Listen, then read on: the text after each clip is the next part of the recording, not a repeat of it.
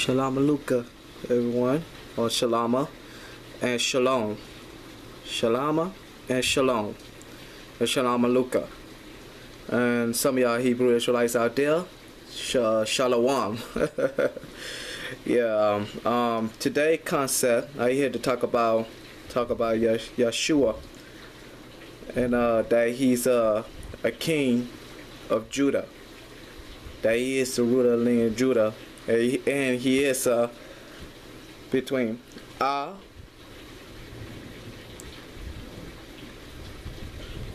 and Tau. And when you look at these Aramaic letters, when I put these Aramaic letters on the screen, I'm letting you know that from Ah to Tau, they call it Alif and Tau or Tau. Supposed to be a U said Tau means means supposed to be a U there, no W. To be Tau. But it's okay. I guess it's it depends how easy ways to for y'all to pronounce or either either either way the other people will out. The old words we use we use the word we use the word ah and tau means alpha omega. That's automatic alpha meaning alpha omega in the alphabet and numbers is used to use, but they call it alpha omega. Now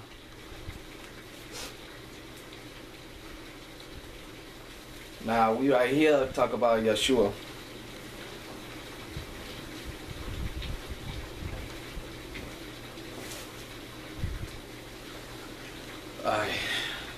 Shalom Luca. I'm here to talk about Yeshua. Now, Yeshua was born in Bethlehem. And they did written the words about him. And they did talk about him. Yeshua was born in Bethlehem. He never called himself as Christian. And also he was not known as Christ. But don't get me wrong, it's okay. The Christian today, they use the word Christ. So I'm not here to make no confusion with this. I don't know why I can't say Messiah, you know, but when the Christians kick in, they call him the Messiah. Well, they um let me correct that. They call him Christ. Forgive me. They they explain him as Christ. That's when the Christian use it, and that's what the Roman use it. Now, with the Roman use that, the Roman, that's how Romans start started doing back then with the Caesar Augusta, Caesar Augusta start, where he telling people to convert Christianity. Yeshua was not not known as another religion. He was not known as no Islam. He was not known as no Christian. Only Caesar Augusta could put that title there. As you know, it's Esau put the title there. Esau is the main one use those title to make it call the word religion today. But Yeshua was not known as any other religion. He was known as Judah. And you could say, yes, he's the teacher. He's a rabbi. And yes, he is a rabbi. A rabbi. And Yeshua is, is the main ones that teach. And he's the real Judah. He never called himself as as Yehushua with the E, with the Y-E, no. Called himself, his name is Yeshua. In Aramaic, we use the word Yasha. Now, we call him Yeshua. The reason why we call him Yeshua, because it's always had to be, it's had to be pronouncing with the Y-A to it, with the H. A lot of people spell different because they're really too much don't want you to know the deep information. Yes. Now, I'm going to tell you this. From the Old Testament, they are known as the 12 tribes. And all the 12 tribes is in the word in the Bible, every every one, one of them in the Bible. And they all tell you, they all tell you about who's in Judah, and who started who started the words with all that, and who started with the twelve tribes. Now we got all of them in twelve tribes in the words that's already been speaking and spoken, already been spoken on the on the Old Testament. And when we head to the New Testament, that's when the Yeshua step in, and his name is Yeshua. And Yeshua, Yeshua was there in the Old Testament, and y'all ain't knew about that. He was there. Now you can't say false, cause it's true. Now, who say that Caesar Augusta is a 12 tribes of Judah? No, they never been known as 12 tribes. No. Let's correct that. And who started that religion? Esau. And Esau is the main one that's made Islam and Christians. He made those titles. That's why he made an organization called uh, Convert. Now, Hebrew Israelites, Hebrew Israelites, Judah, they used the word Jew to let you know that still remains color person. Jewish means Edomite. And also, and also to let you know that Yeshua let everyone know he's a Judah. He never say he was Christian. He never say he was an Islam. And also he never say himself say Jewish. He's a Jew. He's a Judah. He's a Hebrew. But the main words he used to let everyone, whole world know that he is Judah. And yes, he is Judah.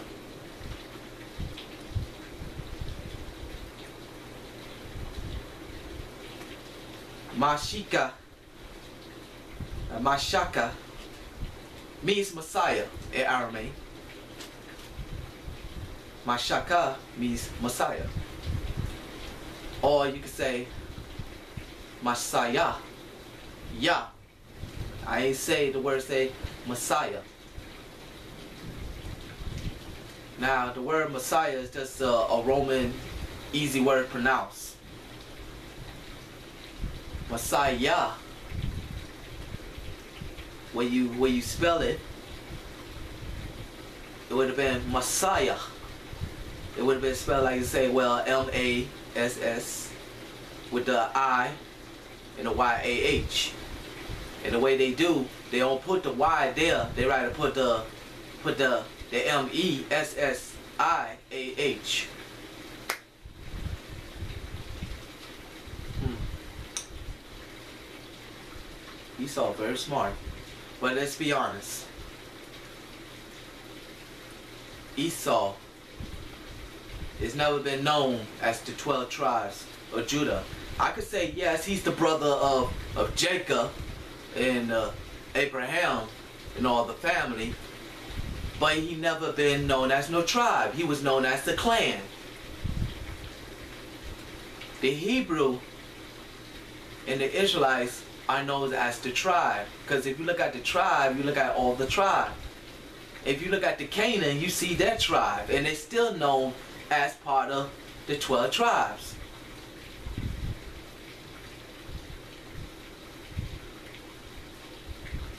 Now, the point is what I'm talking for this, that Yeshua, known as Judah, Caesar Augusta, the Esau family, are known as clan. Jewish clan. Yeshua are known as Judah, one of the whole 12 tribes.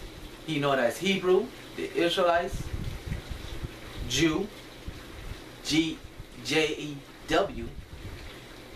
Sometimes they put an S. Not Jewish, no.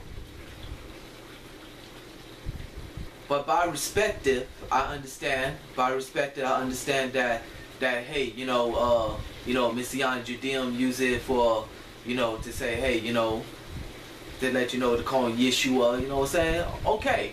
If it's easy for you to pronounce that, It's fine with me, cool with me. But the real truth, the real truth in, in real Aramaic is Yeshua.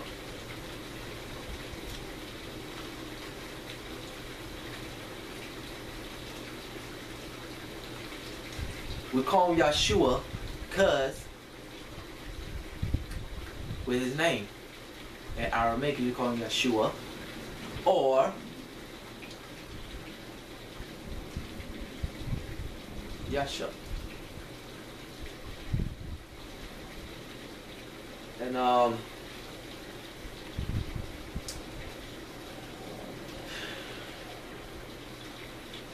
Yeshua is the Alpha Omega. He is the A and the Tau. And I speak in Aramaic. We don't use Greek words. The Greek words they use aleph or tau, or they use aleph and ta or ta. No. We don't use no Roman words. That was Greek words, Roman words. Forgive me, Romans. To be honest and true, they're all European. Period. But um, I'm not here to be arrogant. This is real educated wise and educated research. That Yeshua is a Judah. Caesar Augusta is the clan. He was not known as none of the 12 tribe. Even Esau was not known as none of the 12 tribes. Ishmael is part of the 12 tribes. Jacob, Abraham, Isaac are part of the 12 tribe. Even Dan, Sarah, Samuel, Sarah, and all the prophets are part of the 12 tribes. But not Esau. Esau is just an Edomite. Esau is not known as no 12 tribe of Judah. Esau is a family to Caesar Augusta, to all the Edomites clans. Yes. And Yeshua is a Judah. And Caesar Augusta don't like it for him to be Judah. He rather call him a Christian or call him the different names to, to not to claim him as he is Judah because he's a color person. He's a Hebrew. Yeshua is Judah, and yes, he's a color, color person. He is a color. Word Hebrew means a person of color, and he is the Hebrew. But he also let the whole world know he is Judah. And he's the only one that casts out demons. Esau can't do it. He'll connect with Lucifer. And he could do it.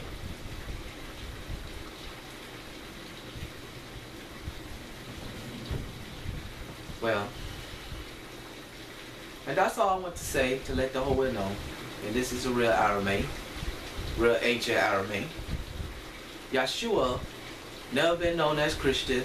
Yeshua has never been known as Islam. And Yeshua has never been known as no Hindu.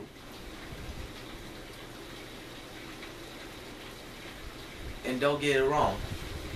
Not even the Chinese name they call Tu or Yin Yang. No. Yeshua, known as Judah.